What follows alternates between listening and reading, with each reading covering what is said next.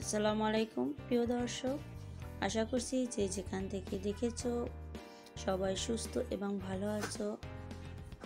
তো সবার সুস্থতা কামনা করে শুরু করছি নতুন নতুন একটি রেসিপি আশা করছি তোমাদের সকলের কাছে ভালোই লাগবে। তো ভালো লাগলে ভিডিওটি সম্পূর্ণ দেখার অনুরোধ রইল আর আমার চ্যানেলটি সাবস্ক্রাইব করবে প্লিজ। আজকে তৈরি করে দেখাবো। জাল পাটি সাপটা বা সবজি পাটি সাপটা। এই পিঠাটা অনেকেই পছন্দ করে। সকাল কিংবা বিকালের নাস্তায় বাচ্চাদেরকেও দেওয়া যেতে পারে এবং অনেক পুষ্টিগুণ। যারা মিষ্টি খেতে পছন্দ না করে, তাদের জন্য আজকের রেসিপি আর এই শীতকালে অনেক ধরনের সবজি পাওয়া যায়। তোমরা চাইলে যে কোনো সবজি দিয়ে তৈরি করে নিতে আমি আজকে এখানে তিন ধরনের সবজি নিয়েছি। বাঁধাকপি গাজর আর আলু নিয়েছি। তোমরা চাইলে যে কোনো সবজি দিয়েই করতে পারো। তো এটাকে আমি কুচি করে কেটে নিয়েছি আর খুব সুন্দর করে ধুয়ে নিচ্ছি। এবার গরম পানির উপরে দিয়ে আমি একটু বাপিয়ে নিচ্ছি। এতে করে বাজি করার সময় এক্সট্রা পানি বের হবে না আর বাজিটা খুব সুন্দর হবে। তো এক পাশে আমি সবজিগুলো ভাপাতে দিচ্ছি আর অন্য পাশে আমি পিঠার ব্যাটারটা তৈরি করে নিচ্ছি। পিঠার ব্যাটার তৈরি করার জন্য এখানে আমি দেড় কাপ আটা নিচ্ছি। তোমরা চাইলে এখানে চালের গুঁড়ো নিতে পারো।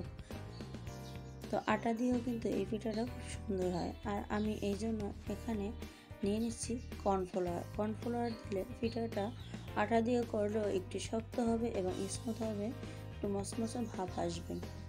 খেতে কেতকেতা লাগবে না। তো দিয়ে দিচ্ছি হাফ টেবিল চামচ বেকিং পাউডার আর সামান্য বেকিং সোডা। এতে করে পিঠাটা আরও একটু স্মুথ হবে দিয়ে দিচ্ছি গোলমরিচের গুঁড়ো, এটা অপশনাল তোমরা চাইলে এখানে মরিচের গুঁড়ো কিংবা হলুদের গুঁড়ো দিতে পারব, কালার সুন্দর আসার জন্য। আর একটু ঝাল করার জন্য শুকনো মরিচ গুঁড়ো দেওয়া যেতে পারে, আবার তেলেও দিতে পারো। আমি এখানে গোলমরিচ গুঁড়ো করে নিচ্ছি, আর দিয়ে দিচ্ছি সামান্য নুন।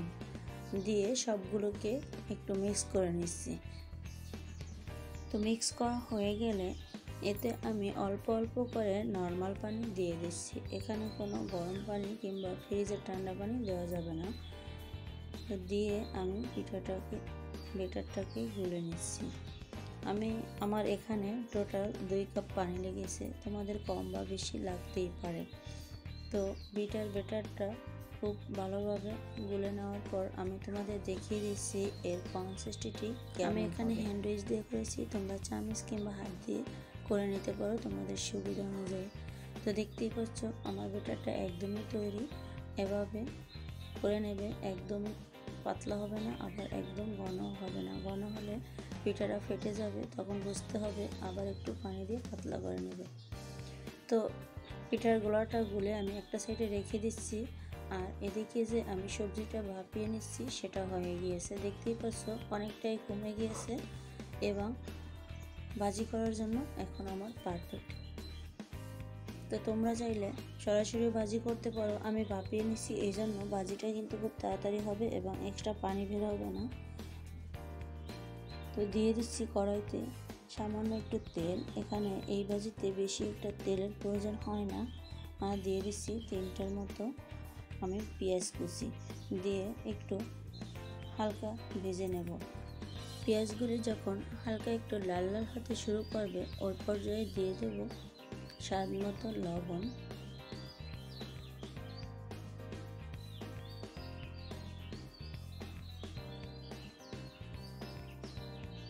দিয়ে দেবো হাফ টেবিল চামচ জিরের গুঁড়ি, হাফ টেবিল চামচ হলুদ গুঁড়ো। জাস্ট কালারটা সুন্দর আসার জন্য দিয়ে দিচ্ছি জাল করার জন্য। কিছু কাঁচামরিচ তোমরা তোমাদের স্বাদ অনুযায়ী কমিয়ে কিংবা বাড়িয়ে দিতে পারো। তো সবগুলো দিয়ে দিয়ে দিচ্ছি সবজিগুলো। সবজিগুলো দিয়ে আমি একটু নেড়ে চেড়ে নেব।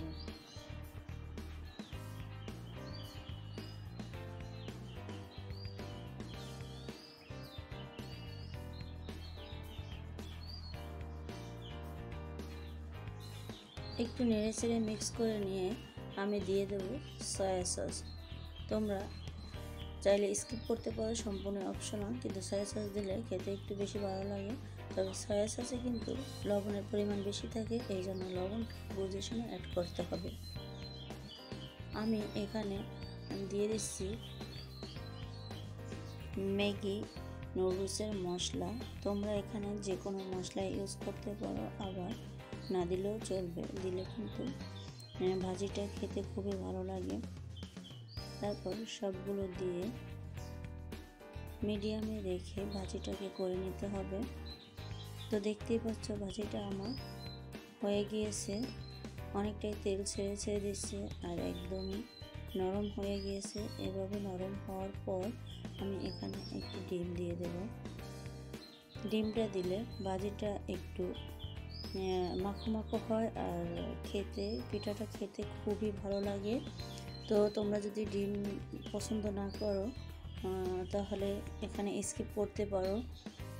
এখানে কর্নফ্লাওয়ার গুলে একটু দিয়ে দিতে পারো, এতে করে বালিটা একটু মাখো মাখো হবে আর পিঠার সাথে খুব সুন্দরভাবে লেগে থাকবে।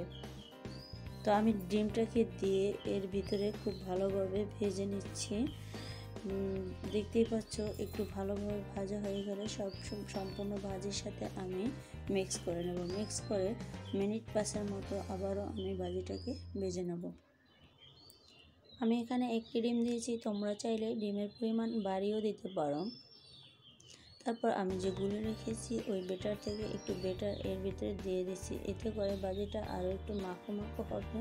যেহেতু আমি ডিম একটি দিয়েছি, তোমরা চাইলে এটাও স্কিপ করতে পারো। কিন্তু আমার কাছে মনে হচ্ছে এটা দিলে বাজিটা খুবই স্মুথ হয় এবং মাখো মাখো হয়। এরপর আমি দিয়ে দিচ্ছি ধনিয়া পাতা কুচি। এই ধনিয়া পাতাটা আমি কিন্তু ফ্রোজেন করে রেখেছিলাম। তো ফ্রোজেন করে কীভাবে ধনিয়া পাতা রাখতে হয় সেটা আমার চ্যানেলে দেওয়া আছে। তোমরা চাইলে দেখে নিতে পারো। তো ওখান থেকে কিছু ধনিয়া পাতা এতে দিয়ে দিছি ধনিয়া পাতাটা দিলে ডিমের কোনো গন্ধ আসে না এবং ভাজিটা অনেকটাই টেস্টি হয়। খেতে খুবই ভালো লাগবে। তো ভাজিটা দিয়ে আরও কিছুক্ষণ নেড়ে ছেড়ে আমি নামিয়ে নিচ্ছি। এবার পিঠা তৈরি করার জন্য আমি পিঠার চুলায় একটি কড়াই দিয়ে দিচ্ছি আর সামান্য একটু তেল ব্রাশ করে নিচ্ছি। দেখতে পাচ্ছ, আমি টিস্যুতে লাগিয়ে একটু তেল ব্রাশ করে নিচ্ছি। আর বেটারটাকে খুব ভালোভাবে একটু নেড়ে চেড়ে যাতে নিচে বেশি জমে না থাকে। তারপর চেক করে নিচ্ছি, কড়াইটা খুব ভালোভাবে গরম হয়েছে কি না তো খুব ভালোভাবে গরম হয়ে গেলে এর ভিতরে আমি এক চামচ পিঠার বেটার দিয়ে দিচ্ছি। আর এ পর্যায়ে চুলার আঁচটা মিডিয়াম থাকতে হবে। এতে করে পিঠাটা সুন্দর হবে। তো দেওয়ার পরেই দেখতেই পাবে যে পিঠাটা খুব সুন্দরভাবে হয়ে গিয়েছে। এবার আমি এক চামচ ভাজি এর উপরে ছড়িয়ে দেব। দিয়ে পিঠাকে উল্টিয়ে নেব। পিঠাটা সাবধানে উল্টে নিতে হবে। তো আমার এক হাত দিয়ে ভিডিও করতেছিলাম, এজন্য আমি খুব ভালোভাবে নিতে পারিনি। তোমরা এ পর্যায়ে দুই হাত ব্যবহার করে পিঠাটা উল্টিয়ে নেবে, এতে করে খুব সুন্দরভাবে উল্টানো যাবে। তো আমি সাইডে একটু বেটার দিয়ে দিচ্ছি। এতে করে পিঠাটা খুব ভালোভাবে জয়েন্ট হবে। দুই কোনা থেকে ভাজিটা আর বের হয়ে যাবে না। তোমরা চাইলে এভাবে করে নিতে পারো। আর দেখতেই পাচ্ছ, খুব সাবধানে এই কাজটা করতে হবে। কীভাবে আমি উল্টিয়ে নিচ্ছি, দেখতেই পাচ্ছ। খুব সুন্দরভাবে উল্টিয়ে নিয়ে এটাকে একটা ভাজ দিয়ে উল্টিয়ে পাল্টিয়ে আরও এক মিনিটের মতো ভেজে নিতে হবে। এতে করে পিঠাটা একটু শক্ত হবে। ভাজা ভাজা হবে। তো এইভাবে করে আমি সবগুলো পিঠাকে ভেজে নেব। তোমাদের সুবিধার্থে আমি আরও কিছু পিঠা ভেজে দেখিয়ে দিচ্ছি।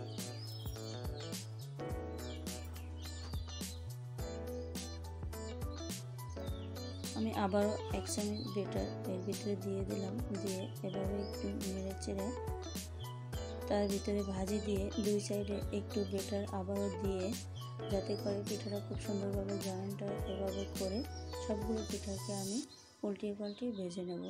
দেখতেই পাচ্ছ আমার এইটুকু বেটারে এখানে পনেরো থেকে ষোলোটা পিঠা হয়েছে আর পিঠাগুলো কিন্তু অনেকটাই সুন্দর হয়েছে। খেতেও কিন্তু অসম্ভব মজার হয়েছে। তো বন্ধুরা, আজকের মতো বিদায় নিচ্ছি। আল্লাহ হাফেজ।